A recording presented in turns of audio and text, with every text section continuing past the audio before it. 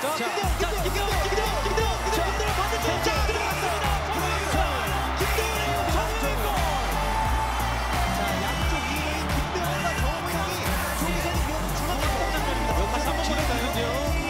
자, 여기서 상당히 혼전 상황인데요. 네네. 울면서 김대원이 아, 잘 꺾어줬고요. 뭐 이거는 뭐 확실하게 기다리고 있었던 정우영이 깔끔하게 마무리를 지었습니다. 정우영이 김대원을 믿고 따라 들어가서 기다리고 있었고요. 네.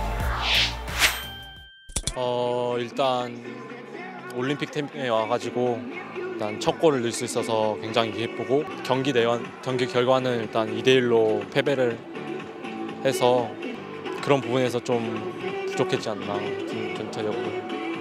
어 일단 팀 전체적으로 이제 여기에 올림픽 대표팀에 오면 일단 감독님이 원하는 스타일로 맞, 최대한 맞추려고 해야 되고 감독님이 원하는 스타일로 하려고 노력을 해야 되고 감독님이 원하는 스타일로 해야 되는 것 같아요. 위주로 연습을 하고 그래야 되는 것 같아요. 제가 생각했을 때는 이제 조금 더 맞춰야 될 부분도 있- 많고 그리고 아직 이제 시작할 단계이고 이제 다음에 또 이제 소집 때 또 경기가 많이 있- 좀 있으니까 그때 많이 맞춰야 되는 것 같아요.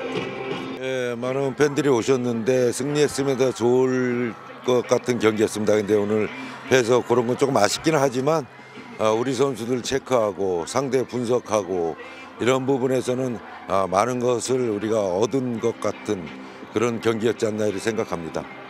예, 경기력 상태는 크게 뭐 좋다고는 할 수 없습니다. 왜냐하면 우리 선수들이 이렇게 모여서 경기를 한 게 지금 처음이거든요. 그래서 자주 이런 경기를 하다 보면 아, 경기력도 많이 좀 올라오지 않을까 이렇게 생각하고 있습니다.